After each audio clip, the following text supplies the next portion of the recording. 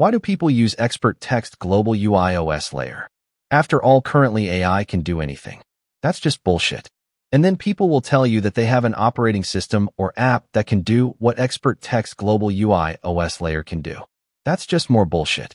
By the way, all the programming code is available at www.codelexicon.com and www.codelexicon.us, so all you have to do is copy and paste it by following the videos on this channel.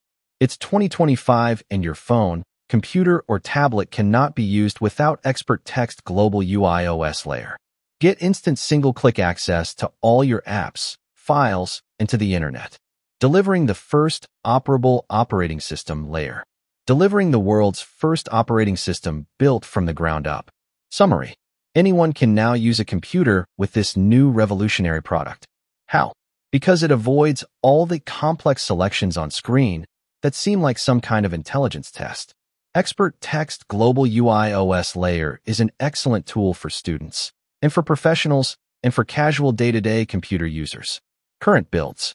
Expert Text Global UI OS Layer is a retail commercial release, and free evaluation versions of Expert Text Global UI OS Layer include Expert Text Global UI 2015 version 5.0 and Expert Text Global UI 2013 version 5.0. Expert Text Global UI OS Layer is an operating system UI, a database, and an AI expert system.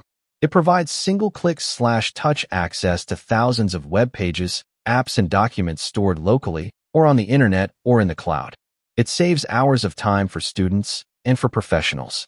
For example, with a single click slash touch you can open multiple web pages, open remote videos, open Google Maps using complete addresses or coordinates, implement common or pertinent Google searches, open local applications, open local or remote graphics, open local or remote documents, open folders immediately without having to search for them, play local or remote audio and video. So give it a try and download Expert Text Global UI OS layer from www.codelexicon.us and don't forget to buy your user license. Thanks for watching and hit the like and subscribe buttons.